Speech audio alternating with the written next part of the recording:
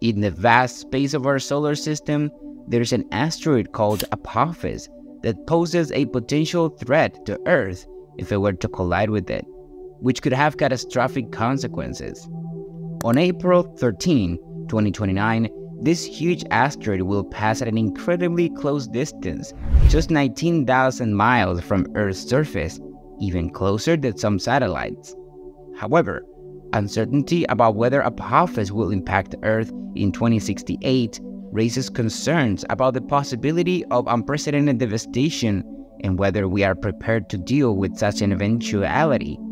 We will explore this issue further.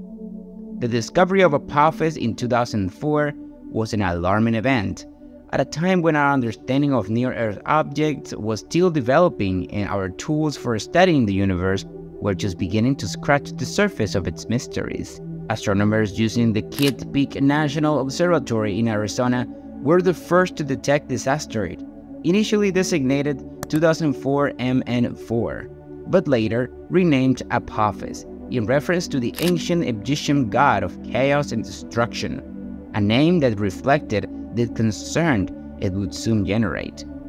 Apophis stood out among other asteroids for its considerable size, estimated at approximately 1200 feet in diameter, making it a significant object among near-Earth asteroids.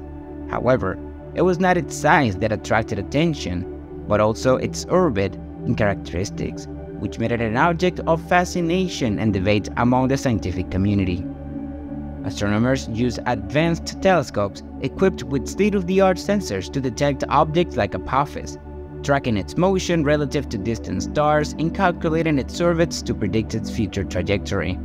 From the beginning, prominent figures in the field of astronomy, such as Neil deGrasse Tyson, have recognized the potential implications of an asteroid like Apophis, noting the importance of addressing this type of threat seriously. While many scientists were impressed and immersed in the technical details of the asteroid, Tyson used this platform to discuss the broader implications of these celestial bodies. One of his most remembered comments about his asteroid is, The universe is a deadly place. At every opportunity, it tries to kill us. So does the Earth. But we humans are pretty good at avoiding death. As we explore the mysteries of Apophis, we will discover that the universe has its own surprises. Stay tuned. 2029 A Ticking Time Bomb. In a startling revelation, the solar system seems to have a peculiar sense of time. On Friday, April 13, 2029, a major event will occur. Apophis, a huge asteroid approximately 300 meters in diameter, will approach Earth, passing just 19,000 miles from our planet's surface.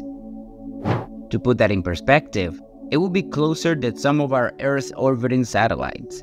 Before panicking, it is essential to note that scientists are confident that Apophis will not collide with Earth during this encounter. Instead, this event represents a unique opportunity for researchers to study near-Earth asteroids. However, as we will explore below, there is an even more disturbing twist to this cosmic story, involving the return of Apophis in 2068. Did you know that an object of this size only comes close to Earth once every thousand years? Well, this makes the 2029 event a unique spectacle. Richard Binzel, a planetary scientist at MIT, highlighted the importance of this event during the International Planetary Defense Academy.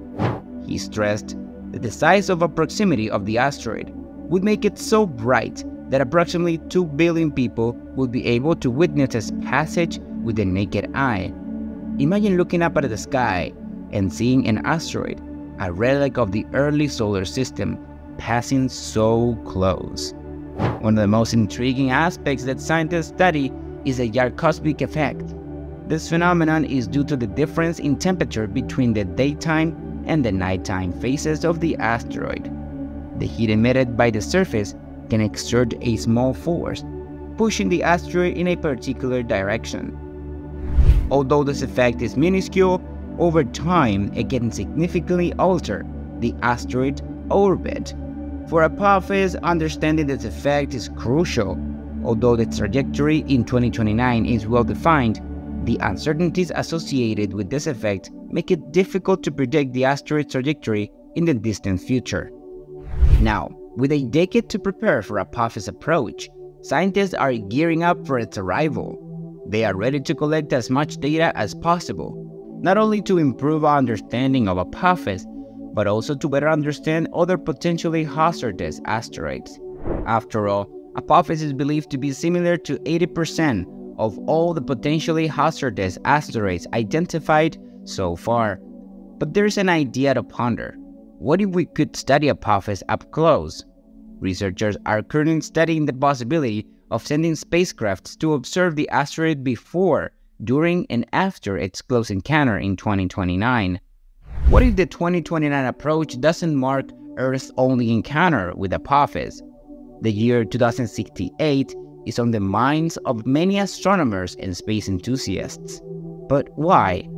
Because it is the year in which there are a chance that Apophis will collide with our planet. This is where the concept of keyhole comes in. You can imagine it like throwing a stone into a pond.